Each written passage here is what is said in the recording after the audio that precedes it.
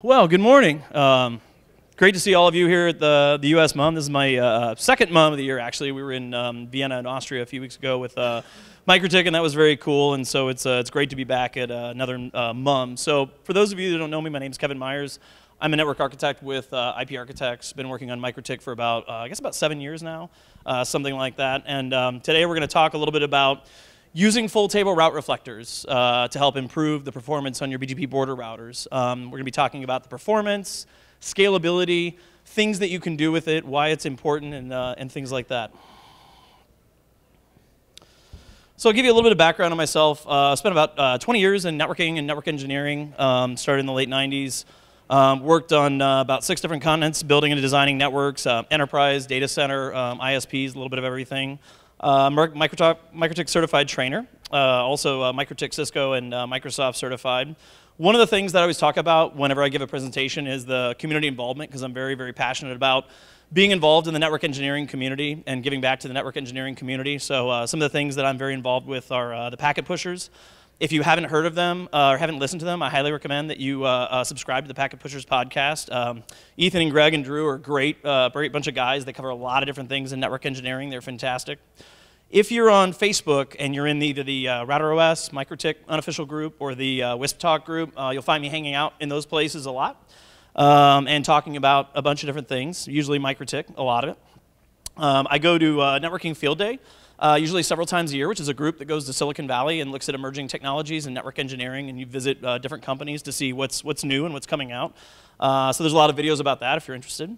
Uh, MikroTik Forum, you'll find me as IPA Net Engineer on there. I've been on there for about six or seven years, uh, commenting on different things. So if you've got a question, feel free to hit me up in that channel.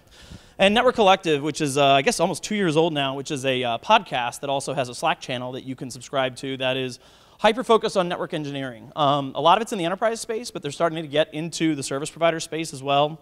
I've been a guest on their podcast a couple times, and it's really just a great group of uh, people if you're into networking. So definitely check all those out. Uh, let me give you a little bit of background on my company. Um, IP ArchiTechs uh, is the largest MikroTik consulting firm globally. We've got engineers in six different time zones now. Um, we've got locations in uh, South America, North America, and I think it's my next slide is most recently Europe. Uh, we've got a pre presence over in Serbia and Europe now, so um, and looking towards Australia soon um, to get some engineers over there, so that we have a MikroTik engineer up when the sun is up. And we basically do consulting manage networks, monitoring, load testing. We've got our own data center in Denver. We do some customized hosting for uh, some of our clients. So if you need help with MikroTik or a networking project, uh, feel free to give us a call. And as I mentioned, and new as of 2018, we opened an office in Niš, Serbia, uh, so that we can help support UK uh, and pretty much everything in the plus uh, GMT all the way to like plus three time zone. So we cover Africa with that as well. So I always uh, give Janis Megis a hard time when I put this slide up because if you've been through the MikroTik Trainers course, he makes you put this slide in, um, or you're pretty much fail his course. Um, but this is the, the goal of the presentation. What are we going to talk about? What do I hope that you get out of this? Um, and for this presentation, I want to talk to you about changing the design of your border routers and thinking more like a tier one. You know, one of the things that small ISPs have a challenge with, um, and even enterprises, large enterprises have this challenge if they're going to put data centers on different continents and geographically diverse, is how do you manage your border routers? You know, once you get one border router and two border router and that turns into 10 border routers or even more, how do you deal with that scale and that challenge of the performance, um, the scale and the design? You know, what, what, is, uh, you know, what is an approach that you use to tackle that? And so that's what we're going to be talking about with BGP route reflectors for full tables, is how you can leverage that to improve the, the convergence in your own network. Um, we're going to look at using some open source software along with MikroTik um, that you may or may not have heard of that we're going to use in conjunction with MikroTik to help improve the performance of the CHR because it's, um, it's a piece of software that was kind of written for this task specifically, so it does very well. Um, and then also talk about the design benefits of when you put this into the design, what's the, you know, what's the advantage of this? What does it look like? So if you've seen any of the CHR work that I've done in some previous MUM presentations, you'll recognize the next two slides, but I kind of put them in here as a precursor to the testing and the performance that we're about to go through with the CCRs and the CHRs, which is really, if I'm going to use a BGP border router, what is the right choice? You know, do I want to use a CCR? Do I want to use an ARM-based uh, device? Or do I want to use uh, um, uh, uh, a virtualized implementation? And so when you look at this, there is no one right answer. Um, I'd say these days I tend to lean towards the CHR pretty heavily because the performance is fantastic. But with the recent uh, release of the 4011, the 4011 is a great little border router. We actually use them as our border routers in our data center in Denver. Uh, and it works really well. The ARM uh, chip in there, which is the same as the, uh, the RB1100, has got a really high clock speed. And with the uh, addition of the 10 gig port, it actually makes for a pretty good little border router. So, um, you know, if you're not completely comfortable with the virtualized approach. You know, some people are very comfortable with hypervisors.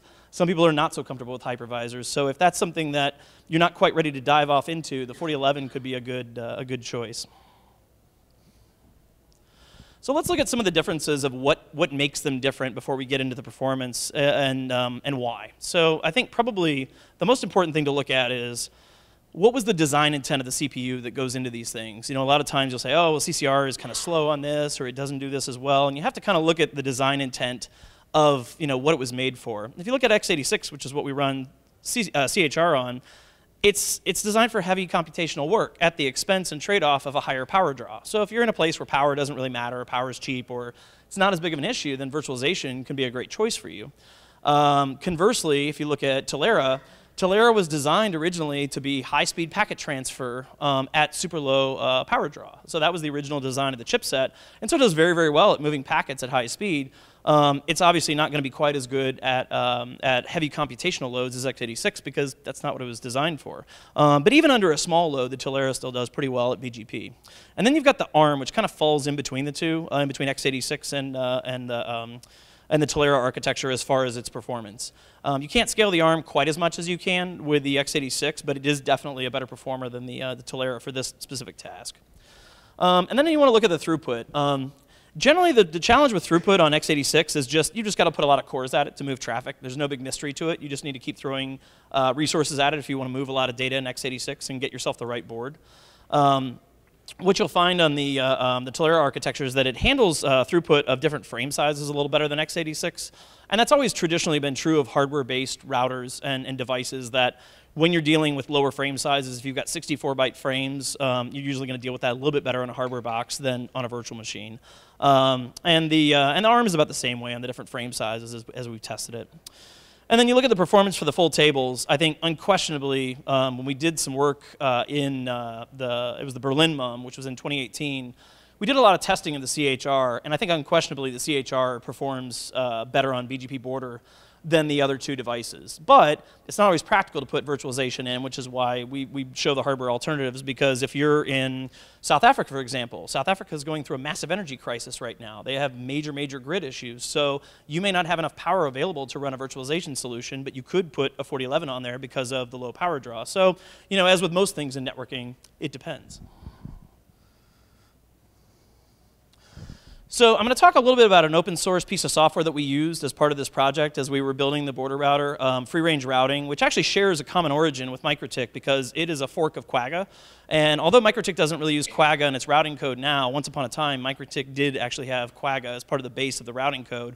So both of these have kind of common origins, but um, one of the things that this is used for a lot in the ISP world is if you're running an IX or if you're running a, a really large AS and you need a route reflector or a route server, um, you can take and compile this open source software to use as a routing daemon. And, uh, and it's multi-threaded, so you can actually take a lot of full tables into this software and it will handle it very well. So it's a great companion to a MikroTik CHR or a CCR if you're trying to improve the performance of your border router. Um, and free range routing does BGP, ISIS, LDP, OSPF, PIM, uh, and RIP, and uh, a few other things. Um, so it's basically a, an open source routing stack. Uh, and it works really well. It's something that um, Quagga had not had a lot of development uh, in the last few years, um, and then it was resurrected. Um, I think it was Cumulus Linux that really kind of spearheaded the project and got this open source project going again. And so there's a lot of development now in open source routing, um, and it's a very good fit with, uh, with MikroTik if you're building a network um, to have a piece like that to slot in. So one of the reasons we chose it um, is basically because it's multi-threaded for BGP. So if you want to scale your, your border routers, your CHRs to a really high volume, you can take this and put it out of path. Um, it's just going to run on x86, whether it's virtualized or bare metal. You can take uh, free range routing and put it in a VM and then peer it as a route reflector to all of your MikroTik border routers, um, acting purely as a route reflector. Um, it's free because it's open source, so that's great. You can either download it through uh, Cumulus VX or go to their page and compile it yourself uh, on a couple different flavors of Linux. Uh, and like I mentioned before, it's, it's seen a lot of use uh, in the last, um, uh, well, going back to Quagga, but even after it's been forked, I'd say there's good 10 years of, uh, of history or more as a route server, as a, as a route reflector. So uh, it's got a good track record. So looking at free range routing for the BGP route reflector. Um, you don't really need throughput for this um, because that's not the goal of this. this. is what we call an out of path route reflector. No traffic is ever going to go through it. It literally acts as a way to aggregate all the tables from your CHRs or your CCRs, uh, um, store them and send them quickly back and forth between the routers um, so that you can uh, uh achieve better convergence speed. Um, if you want better, you know, better throughput at lower power draw, obviously that's where the MikroTik CCR or CHR comes in as a BGP border router. Um, and just you know leverage the strength of open source software um, to give yourself scaling options. And that's that's why we kind of chose free range routing and MikroTik paired together to test this. So I've got a couple different network designs and slides that I'm going to show you of things that we did and things that we tested. Um, if you're not familiar with it, I've got a blog called subarea51.net that we do a lot of like network engineering uh, work in.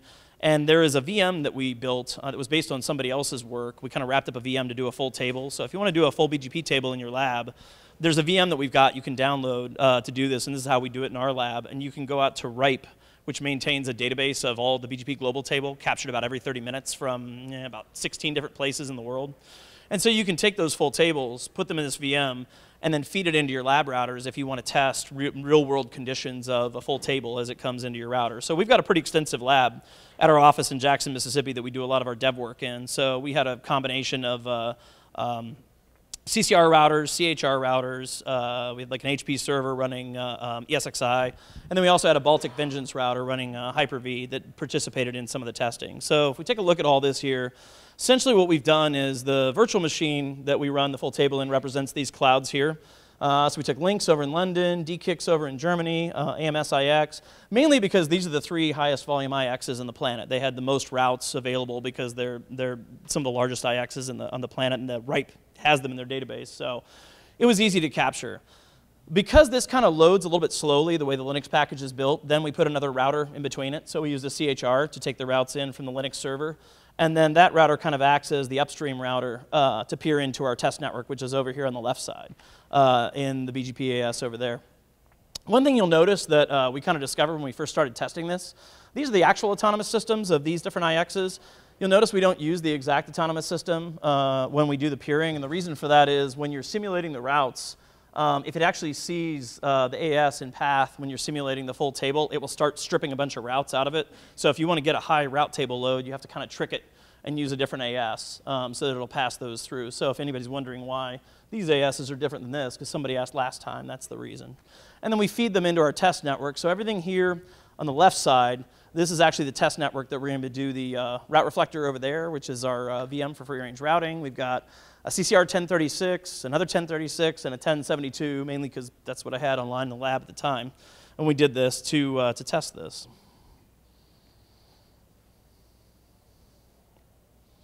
So here's the physical network you can see. Um, there's the HP server, which is running the CHRs that take the full feeds in.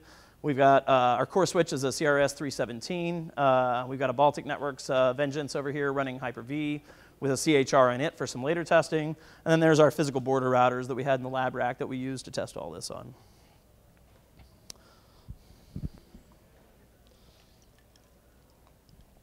So let's talk about the concept of testing and what we wanted to achieve.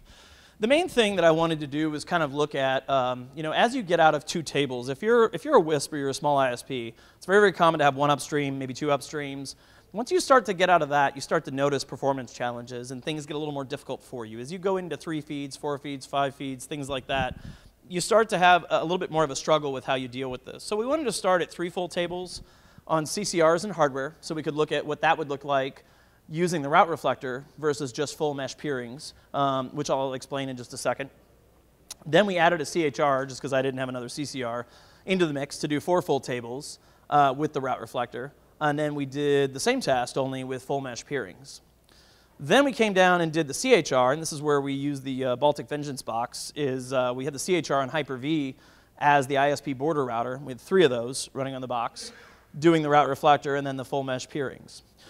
So I'm going to take, before I get into the results here, um, I want to take just a second to kind of describe what the difference is between full table uh, route reflector and full mesh. In fact, I probably better back up to the diagram here just for a second. So what that means, um, for those of you that aren't familiar with BGP, is that when you take these routing tables into your border routers, you need a way to exchange the routes that are learned in on this path between all three of these routers. And that's traditionally done by peering the routers all to each other in addition to your upstreams. That's what we call a full mesh peering because every border router peers with each other. The challenge you have with that is um, there's some networks that you know, we've been involved with that have 90 border routers or a few hundred border routers that are scattered across the planet. And when you're dealing with that scale of border routers, it's very, very difficult to, uh, to do a full mesh peering, not only because you need layer 2 transport or some kind of a layer 2 overlay to put them into a common segment to peer together. That can be a challenge. Uh, and then you also need um, to have 200 peerings or 100 peerings between all the border routers, and that doesn't scale very well. So, and it's also pretty taxing on the control plane of the router to be managing that many peerings for this task. So that's where the BGP route reflector comes in. If you study IBGP, one of the things you learn is that route reflectors were designed to solve the full mesh problem. If you peer all your routers into a route reflector, every router does not have to peer with every other router. Now that's most commonly used, what you'll see in the small ISP world and the WISP world, on the interior of the network. It's less common to see a route reflector that's dedicated to uh, just the global table, just your full tables. But as you get into larger networks, that's exactly what they do to scale. Oftentimes it'll be a cluster of route reflectors. You may see a cluster of four, eight, or maybe even up to 12 route reflectors, all in like you know either global or continental uh, cluster to service an autonomous system. Um, but if you're doing it on a, on a smaller ISP, you can either do, uh, do one or a couple, or, or build them on uh, um, redundant virtualization and have a single, uh, single router to handle that. Now, um, so that's the difference between the full mesh and the, and the, route reflector as I, as I get into this to kind of explain that just a little bit. So let's take a look at the first test and see what we've got. First thing we did was take the two 1036s and the 1072. We peered them into the route reflector, which this is the output from the route reflector. If you've ever used a Cisco router, looks very much like Cisco because Quagga has a CLI that is, uh, is very much like Cisco. And so we pumped 1.7 million routes into, into it. Uh, the IP transit convergence, which is meaning all of the upstreams finish their table load to the border routers in a certain amount of time. So at 2 minutes and 55 seconds, that's when the uh, upstreams finish their load into the border routers. Then the full convergence means once those have been learned, all the routers have to, have to talk to each other to figure out what is the best route. They look at all the different things in the BGP best path algorithm. You know, it's going to look at the autonomous system, path length, and weight, and local pref, and all those things. And that takes a lot of computational time, which is one of the other reasons that having a route reflector makes a lot of sense because it can offload some of that computational complexity of determining the BGP best path of all those full tables that come in, because you could even put this on bare metal if you wanted to. Um, the guy that is actually the lead developer for this uh, is somebody I talked to. His name's Don Sharp. He's on uh, uh Slack a lot. We talk about, and he actually mentioned when I was doing this presentation that uh, the performance on bare metal is even way faster than what I have here. I mean, what I have here is just the limits of my lab, but if you wanted to get this better, you could probably get that time down to you know very very minimal amount with really high-end hardware. But looking at this, we went on hardware uh, from 2 minutes and 55 seconds for all the upstreams to a full convergence at 8 minutes and 51 seconds, which is, it's not great. It's okay. You definitely want to be a little faster than that. And the way we measure that is um, something that you don't see in MikroTik RouterOS, but you'll actually see in uh, Cisco and, and the uh, um, other Cisco-like operating systems, is the out queue messages um, as it's waiting to send BGP routes to a neighbor. It will show you how many routes are in queue that have not been accepted by the router. So basically, once this queue goes to zero, we know that we've achieved full convergence in all the routers. So one of the things that we did at the testing was keep refreshing this message until all of our out queues went to zero. And as you can see, we hit right at about 8 minutes and 51 seconds across three CCRs with the route reflector. So we learned something interesting when we did this testing, uh, and that was the one thing that actually improved for the hardware routers, the full convergence time really didn't change a whole lot because there was um, the, the single process uh, in BGP was kind of a limiting factor uh, there for the overall convergence time. But the one thing that did get measurably better was the, the load time from your upstreams we shaved that off uh, a good bit, almost less than half when using the route reflector because the router's only having to manage two peerings now instead of three, or as you keep adding, you know, if you were to add five upstreams to this, the router would be managing six total peerings, one to its upstream and then five to all of its border routers, whereas in the route reflector approach, it peers with its upstream and then it peers with the route reflector. So the router's having to deal with fewer, uh, fewer peerings, which is a little less taxing on it. So we got a little better on the hardware. So it was, it was definitely enough that you would want to adopt this to get yourself a little bit more performance, but you're not going to get great on the, on the CCRs because of the, the limiting factor there. So now let's add four peers and see what we did. Um, unfortunately, I didn't have another CCR. I really wanted to use another CCR, but I didn't have one in the lab, so I kind of cheated and used a CHR here to see what does it look like when we get four tables in, and what does that convergence time look like. So I think for the, we've used LINX, DE-CIX, and AMS-IX for this, and then uh, New York Internet Exchange is the one we added um, for the fourth uh, upstream. So that's what we've got dumping into our routing table for the fourth router that we added. So if you look at this, the IP transit convergence, obviously, now that we have four tables, goes up a little bit. We're at 5 minutes and 33 seconds for the IP transit convergence. Now we're up to from 1.7 million routes into 2.2 million routes, so we've got a fair number of routes going into the router. And it took about 16 minutes and 51 seconds for her full convergence. So getting you know, a little bit long on achieving full convergence on, on all the routing. When you start to get into here, you're you know, going to be start wanting to look at CHRs and things like that because the CHR, um, as we'll see in a minute, um, converges just a little bit faster than this. So here's the full mesh side, which again is similar results to what we saw last time. We got better on the IP transit convergence. It was two minutes longer if you're doing full mesh peerings on taking your tables in. And they were roughly about the same time, maybe a few seconds later on the full convergence. So not a huge difference in the time there. So now let's skip to the CHRs. Um, and if any of you have watched any of the presentations that I, have done, um, uh, I did one in uh, um, Berlin in 2018, and then I did another one just recently among Europe in uh, Vienna that was really focused on the CHR and the performance benefits. Um, and I, I, I, tend to feel that right now that CHR is probably one of your best options as a border router, not only because it's very low cost, but because you can just ramp up resources as much as you want to uh, to solve whatever the problem is that you need in your border. Uh, so what we did here was took three CHRs on Hyper-V.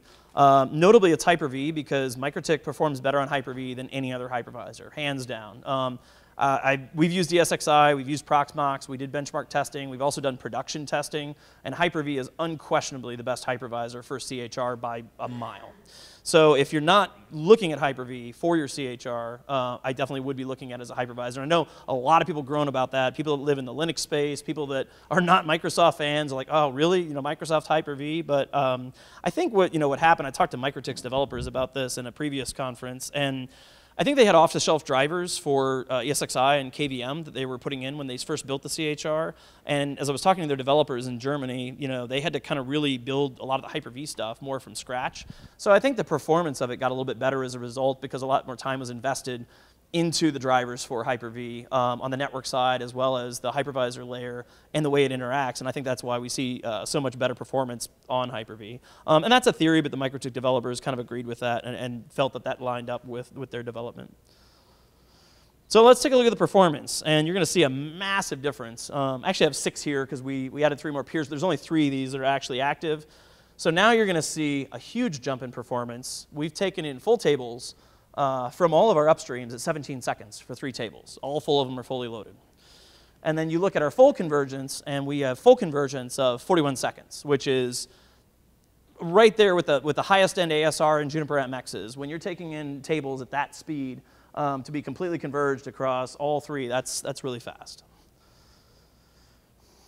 And then let's look at the CHR in full mesh peering. So, um, and a note on this, I did see some, I had to take an average because the, the full mesh had some really widely varying results. So I did, I ran it about 10 times and kind of took an average of it. So what you're seeing really represents more of an average of the testing that I did um, than any one single test because the, the full mesh peering was a little more all over the map, whereas the route reflector was more consistent. But same number of routes, 2.2 million. Transit convergence was a little higher, it was about double, it was 35 seconds to pull in the full feeds. And then full convergence was about two minutes on average from what we saw. So it's not bad, and it's still really good performance, but compared to the route reflector, you're still going to get better performance on the route reflector because, again, it's offloading all that complexity of the BGP best path um, onto the RR. So let's talk a little bit about the performance conclusions of this testing before I get into, I've got a couple designs, uh, uh, a couple slides about the design, uh, and then we'll wrap up and open it up for questions. Um, but I think definitely BGP route reflector can help improve the performance. Um, the CCR, it's, you know, it's maybe, maybe 20 to 30%, but you're still gonna get a faster load time on your, uh, on your initial IP transit load. And, and most importantly, you're going to get scale options, which to me is, is, is as important, if not more, than the performance considerations because you have a way to scale, which we'll talk about in a minute. Um, it doesn't significantly over, uh, overall impact the uh, convergence time when talking about the CCRs. Um, it does impact the overall convergence time in the CHRs for sure.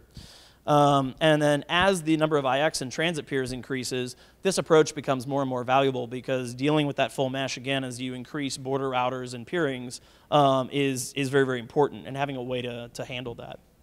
Um, and I think, uh, you know, it's probably very evident in the talk, but CHR plus a BGP route reflector gives you kind of the best of all worlds. You've got uh, the best product from MikroTik for this specific task, uh, you know, with incredibly uh, high performance on Hyper-V, and then you marry it with a BGP route reflector that's uh, got multiple threads, and you know, you've got a way to really scale up some performance at you know a fraction of the cost if you were to go with a Juniper or a Cisco solution.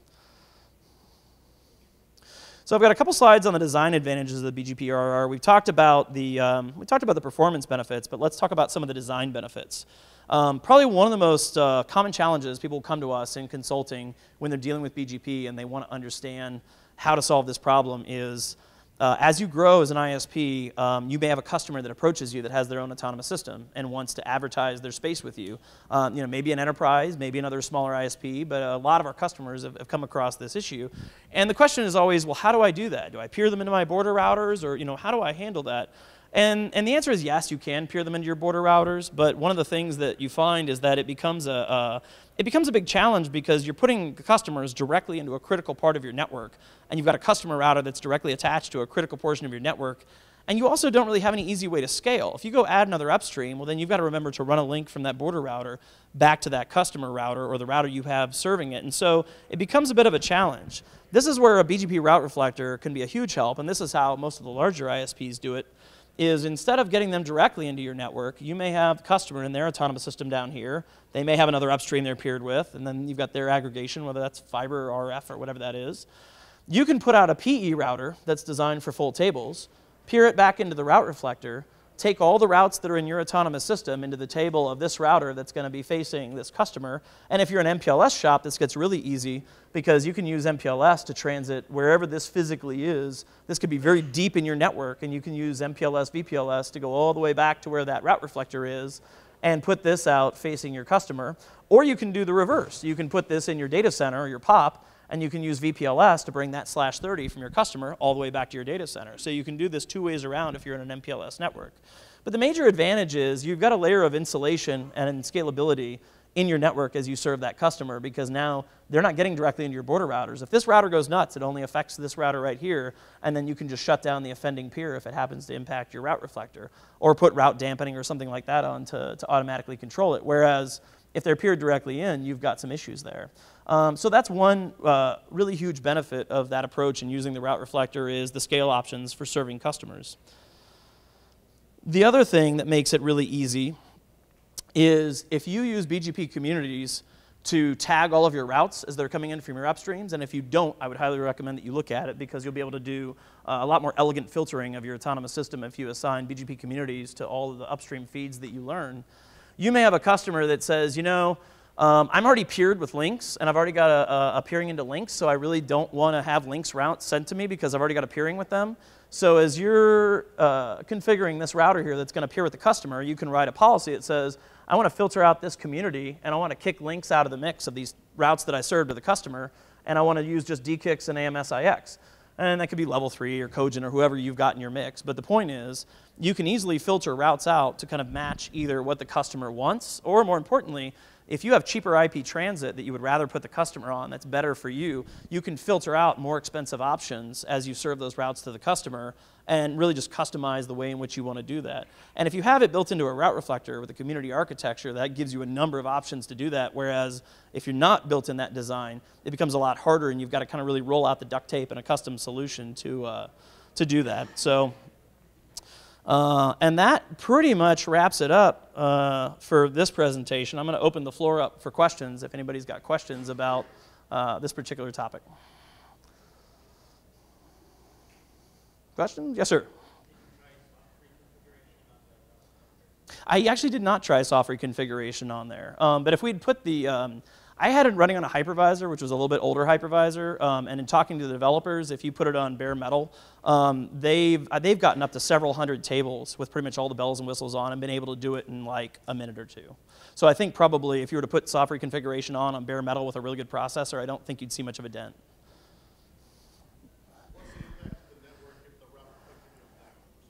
Obviously, if the route reflector goes down, then you do have a massive impact. So what I would recommend that you consider doing is you can either run a couple of route reflectors and peer up to a couple route reflectors. That's one way to do it.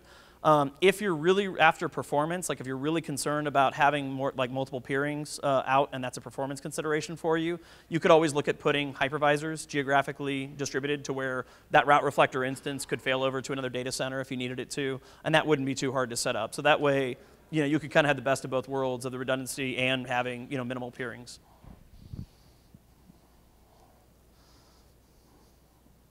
All right, any other questions?